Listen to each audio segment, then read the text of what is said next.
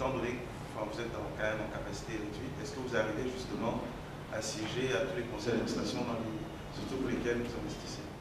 Oui, oui, mais en fait, euh, le conseil d'administration, c'est l'organe de décision. Après, les, les, directeurs généraux et autres sont des mandataires du conseil d'administration.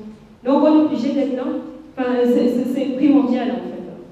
C'est primordial parce que les décisions de management, les grosses décisions de management que l'on transmet au mandataire, qui est le directeur général, sont prises en conseil.